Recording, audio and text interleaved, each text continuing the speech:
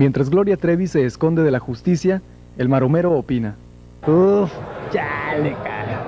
No, pues, ¿qué te puedo decir? Yo no te puedo decir nada porque es lo que te digo, yo no me gusta hablar de nadie, cada quien tus broncas, cara. Noche del viernes 15 de octubre. La gente entra a Calafia para ver la función Orgullo Cachanilla. Los vendedores boxean el bolsillo del público y el Fili hace sus quinielas.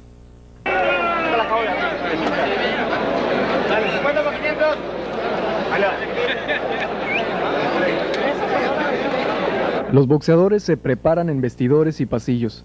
José Luis Castillo, acompañado de Rómulo Quirarte, se encontraba tranquilo escuchando música, mientras que a otros boxeadores los preparaban para los combates.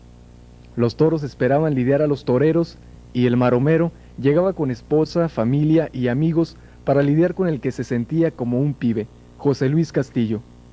Vendaban al chololo, el coque pensativo en el pasillo, el finito saludaba al maromas y Castillo vestiría el calzoncillo azul. Ganaba Gerardo Enríquez por nocaut y el maromero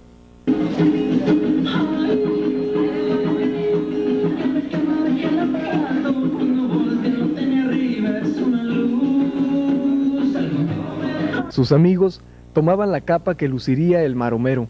Sus botines esperaban pisar lona mientras Páez descansaba. La segunda pelea también se fue por la vía del knockout y el ganador fue el Titi Maldonado. Subía al ring Ricardo Piolo Castillo, hermano del temible, y el finito da su pronóstico Páez Castillo. Todos esperamos una gran pelea, una gran contienda. Tiene la juventud José Luis Castillo, sabemos del potencial.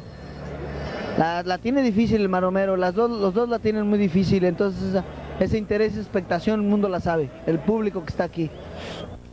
Castillo baja a ver el pleito de su hermano, quien salió avante en la contienda. El público tiene su favorito.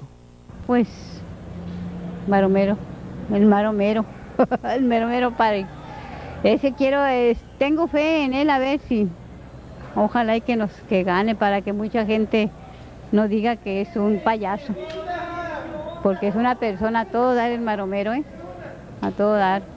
¿Y por qué? Yo, creo que va a ganar el Maromero Paz porque tiene mucha experiencia y tiene la, capacidad para eso.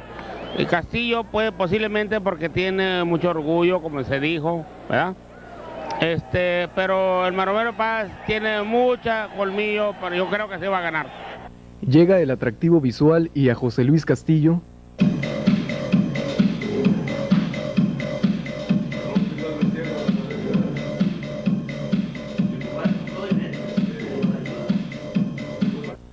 La esposa de Páez nerviosa, el coque listo para la conquista del cetro nacional, pero el chololo trabaja para retenerlo. Comenzaba la pelea y el chololo conectaba duro al coque que era apoyado por los cachanillas.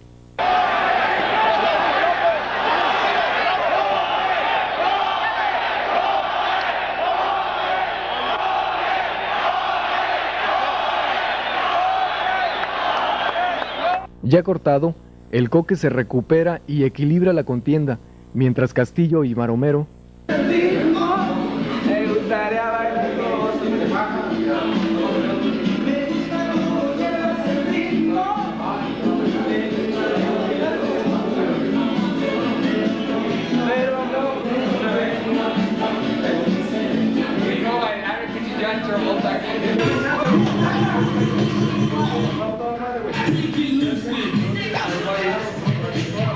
Llegaba el onceavo round y el Chololo conectaba en la cortada y paraba en la pelea.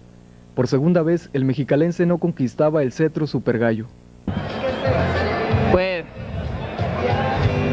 pues ya sé que la pelea fue, fue muy, muy, muy presionada, pues un Chololo muy, muy valiente y, y pues ahí está, pues pegó un golpe bien y reconozco. el transcurso de la pelea?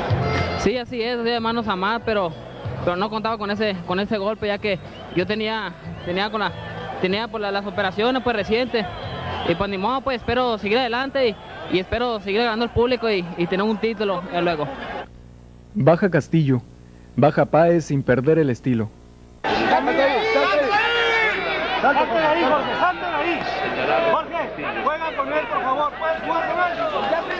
El finito observaba la contienda, los jueces hacían anotaciones y los locutores realizaban la crónica. Levántalo con López de derecha, Jorge. Vivo, vivo. Llegó el quinto episodio. El tiempo y un óper de Castillo derrotan al maromero. Como un gran pelador. Ya lo mío, pues, como ya estaba casi escrito, yo ya voy para afuera. Como dije yo, la mitad ya está afuera. Ya con esta derrota que tuve aquí, no tiene caso seguir en el box. Que me, así, ya, que me paguen demasiado, ya no vuelvo. Porque ya no quiero que me lastimen. Golpe a golpe. Chololo Coque. Coque Eterno Guerrero. Jorge Pueblo. Páez Bellavista. Maromero Carisma. Fin del Maromero. Castillo. Pues parece que sí. Eh, pues en, en, en, en Calafia fue, fue su congr- congratulación cuando ganó el campeonato del mundo y aquí yo creo que, que fue su entierro también. Pues el, el menos chingón, compadre. Pues yo soy de aquí, pues a huevo, puro, arriba, puro chicalojo, me toda la raza. I'm, I'm sorry con las palabras que digo, pero. Pregúntame, cabrón.